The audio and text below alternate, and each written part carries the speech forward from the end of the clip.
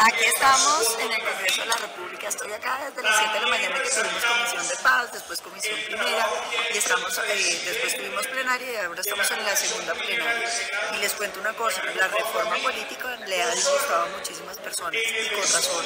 Una reforma política de políticos para políticos donde lo único que hacen es buscar beneficios e impedir que otros ciudadanos puedan participar en política. Por ejemplo, esos ciudadanos de opinión que están en los partidos que quisieran entrar no van a poder hacerlo. Y lo que es muchísimo más grave, prohíben la financiación privada de las campañas. Es decir, solo el Estado va a escoger a quién le da la plata. Imagínense cuáles son los criterios. Entonces hoy toda la plata para el pacto histórico porque tiene más congresistas y perpetuar así la imposibilidad de que podamos ganarles. Muy grave. Ojalá se hunda. Pues doctor Fernando, la reforma política que había sido aprobada en la Cámara de Representantes antes de ayer eh, y tenía muy furiosos a un sector del petrismo porque se había aprobado cosas que ellos no querían, como por ejemplo limitar que solamente los partidos que tuvieran un 15% de participación en curules eh, hubieran logrado un 15% en el umbral de votos para tener curules en el Congreso de la República pudieran hacer coaliciones de cara a unas próximas elecciones, lo que dejaba por fuera precisamente a los partidos minoritarios, a los partidos pequeños. Eh, ayer el debate estuvo alrededor del informe de conciliación sobre la reforma eh, precisamente política. Temas que quedan en la mesa y que son preocupantes en esa reforma, doctor Fernando. El primero de ellos tiene que ver con eliminar la facultad que tiene la Procuraduría para disciplinar a los eh, políticos o a los funcionarios públicos de elección popular. Dice el, lo que quedó de proyecto, recuerda que esto es una reforma constitucional, vienen otras cuatro vueltas, por ahora ya terminó las primeras cuatro, dice el, el proyecto en ese primer artículo que modifica precisamente el artículo 40 de la Constitución.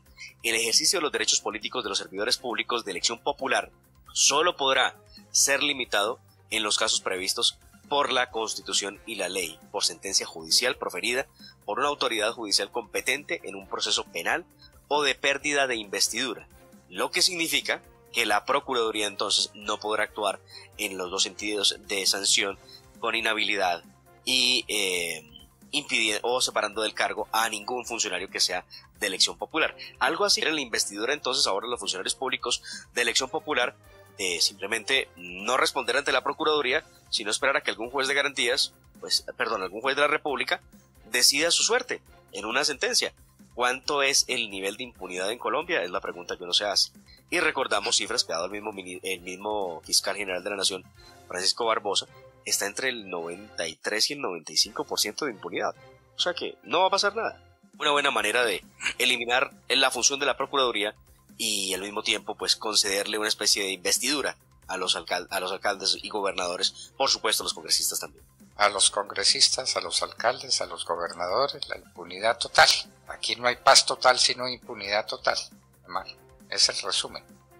Bueno, la reforma política, cuatro debates, sí. Y hay más, hay más, hay más. Eh, se definió la lista cerrada pero ayer estaba la cosa muy complicada, no sé si fue que reconsideraron su postura, pero muchos han dicho que la lista cerrada no puede ser en la medida en que sirve para rellenar la lista de personas que probablemente no tengan la idoneidad o la experiencia para poder llegar a ser congresistas o para ser diputados o concejales, que lo mejor es que las listas se mantengan abiertas. Hay un debate largo por eso, pero se aprobó la lista, la lista cerrada. El otro asunto tiene que ver con la puerta giratoria que llamamos nosotros y es la posibilidad que tienen los eh, congresistas de salir del Congreso de la República cuando se les requiera y ellos estén en la disposición de aceptarlo. El tema de que el gobierno los pueda convertir en ministros o directores de departamento quedó abierta, pero también que se puedan ir al sector privado a ejercer como funcionarios privados. Eh, esto es un asunto que se permitió, la gente está de acuerdo en que, en que debe acabarse esa posibilidad de evitar que salgan del Congreso los congresistas, pero lo han advertido también. Si el congresista termina de ministro o termina de director de departamento, esto sería una especie de mermelada de frente, ¿no? Porque entonces cogen al hombre del partido X, lo llaman, lo vuelven ministro, y pues siendo ministro seguramente va a haber platica para el partido, diría uno, ¿no? Entonces le van a reclamar, venga, usted ya que es ministro, usted que ya es director, qué va a haber para nosotros en medio de su gestión. y eso pues significa una especie de, de, de manipulación al Congreso. Esto obviamente afecta el equilibrio de poderes, la separación de poderes y por esa razón muchos se oponen a ello, pero aún así se aprobó. El otro tema que también se aprobó y que no cayó del todo bien fue el de la financiación 100% estatal en las campañas políticas. Lo que ha dicho la oposición, entre otras la senadora Paloma Valencia, es que quedar en manos del gobierno de turno, en este caso el gobierno petrista, para que dé anticipos o para que gire el dinero, pues puede ser un verdadero problema, porque si están interesados en causar algún daño, habrá alguna demora, habrá alguna razón para no girar y hacer política sin plata, pues es imposible en Colombia y en cualquier parte del mundo. El otro asunto que se discutió en medio de esta reforma política que resultó muy corta por demás, eh, tiene que ver, doctor Fernando, con eh, el tema de rebajar la edad.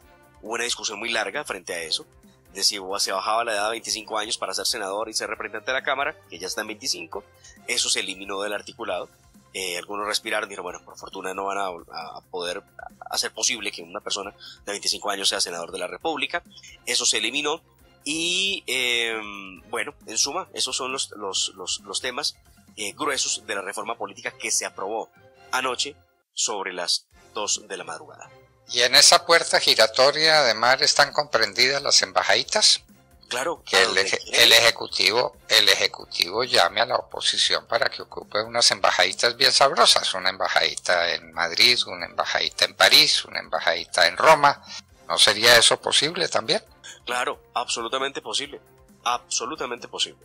Entonces ahí tenemos pues lo que va a ocurrir. Absolutamente inaceptable que cuatro meses de gobierno y estemos gastándonos la plata en burocracia. Ya lo decían eh, la vez pasada, que están creando una nueva jurisdicción que nadie sabe cuánto va a costar. Una cosa que puede ser equivalente a toda la jurisdicción ordinaria cuántos billones de pesos, senador J. Hernández, nadie sabe. Seis mil cargos nuevos en la DIAN. Seis mil cargos nuevos en el ICBF. Seis mil cargos nuevos en la Fiscalía. Acaba de anunciar el señor presidente, no sé si ya lo vieron, eh, 100 mil cargos nuevos para jóvenes eso sin contar los 200 mil millones al año que también se van a gastar en pagarle sueldo a los jóvenes que quieren reclutar en sus causas políticas a través del servicio social. Entonces ya supimos para qué era la reforma tributaria, para pagar nómina burocrática. Cuando los colombianos están esperando las vías terciarias, cuando las comunidades indígenas del Cauca, senadora, están eh, esperando la inversión en agua, en electricidad. Cuando este país tiene una Colombia olvidada en las regiones, todos son cargos para Bogotá, para que los congresistas puedan seguir nombrando a los amigos.